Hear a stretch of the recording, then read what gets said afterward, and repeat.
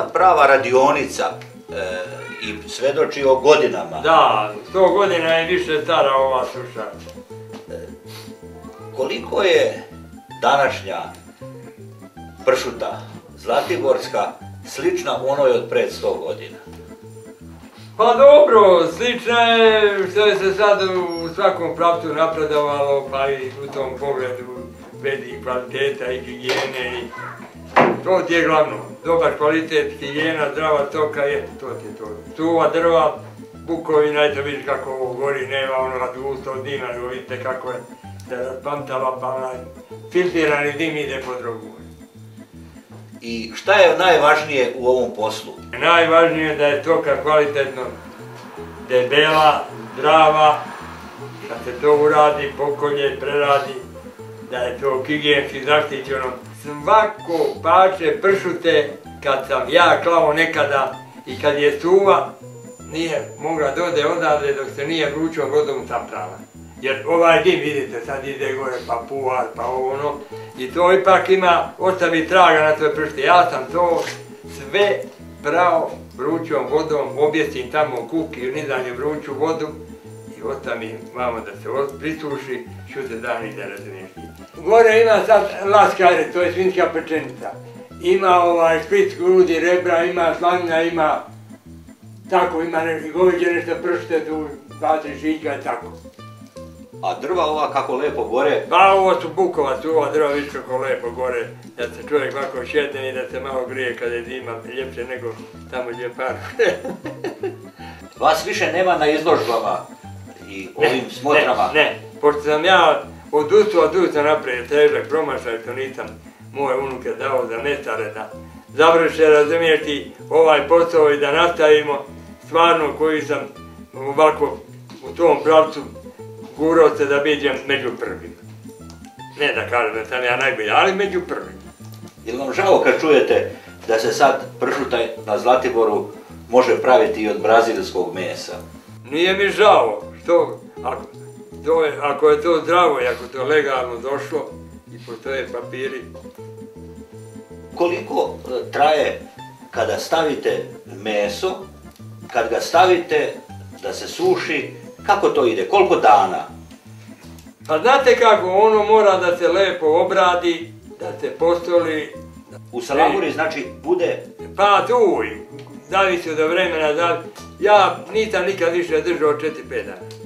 Ako ja vidim da je to ovaj, presoljeno, ja objesim pa niz onu ladnu vodu, da bi spala, da bi saprala, da to ne bude preslano. E, jer poslije sve zavisi ovdje od vremena. Da li je ladno vreme, da li je toplije ko što je sad, pa tu ja ložim i dan noć ovako. Nema tu da prekine, ja ovdje dežuram, ovdje tamo spavam, ustopim i ja ti nikad ne legnem prije 11-12, ako je ona pri kraju, ja je skupim na srednju, pošto zapravo su vamo brvna i to sve, i onda je nema tu prekida, ložim i dan i noć, ne prekidam nikako, neko loži u dan u noć prekid, a ja ne, jer sam tu i dežuram, a tu neki 15 dana do 20 i noću. Nebojša, vi ste e, čuli šta kaže naš domaćin ovdje. E, Da li je stvarno logično da na Zlatiboru pravimo pršutu od brazilskog mesa i da li uopće to može biti onda sa obeleživa ovog regiona i šta se tu zapravo desilo? Pa evo ja ću samo se nadovezati na jednu priču zašto otprilike ne bi bilo logično da govedina iz Brazila ima, da kažem, obeležje, odnosno certifikat ili zaštitu geografskog porekla da bude sa zlatiborskog područja. Prema ono kao što je gospodin Garić rekao, radi se o jednim kvalitetnim grlima, zdravstvenim, kažem, ispravni, a koja su sa ovog područja ne samo zdravstveno ispravne, već kvalitetna u onom smislu da je se pokazalo da goveče koje je paslo na ovom području i što se tiče aspekta mleka i mesa, sadrže neke antikancerogene materije koje, da kažem, a, zaustavljaju razvoj onih teških bolesti. Iz tog jednog prostog razloga, ukoliko bismo isušili to brazilsko meso, nažalost naši stočari ovaj, ne bi imali više smisla da proizvedu i da se bave govedarskom proizvodnjom. A ono što isto je interesantno, da ova tradicionalna proizvodnja, nažalost, a, nije tom smislu niti modifikovana, niti da kažem zaživjela u onom pravom obimu kao što su određene regije u inostranstvu zaštitili i da kažem prilagodili savremenim tehnologijama. Dosta je poljoprivrednih proizvođača koji su se bavili kažem, pre nekoliko desetina godina kao što je Mika Gardić ovom proizvodnjom. Evo sada imamo priliku da kažemo čovjek koji je izvozio i plasirao u eminentne kuće svoj proizvod, sada više to ne radi iz jednog prostog razloga zašto nije mogao da izdrži trend zakonskih regulativa, pravila, a opet mogu slobodno da kažem i ljudi koji su od struke bili a, primjenjivali su represivno te zakone umjesto da su edukovali poljoprivredne proizvođače i usmeravali ih šta treba da modifikuju na ajde kažemo, ovakvim objektima kako bi zadržali tu poljoprivrednu proizvodnju. Da li se sad ovom proizvodnjom, kad je u pitanju e, pršuta, bave ljudi koji su stočari, poljoprivrednici ili jednostavno ljudi koji su nove zanatlije i koriste i zamrznuto meso? Nažalost, možemo da kažemo da je najviše takvih. Iz tog jednog razloga mi smo kao, ovaj, kao poljoprivredna stručna služba pokrenuli jednu inicijativu da zaštitimo naše proizvode u smislu od njive do trpe. Šta to znači?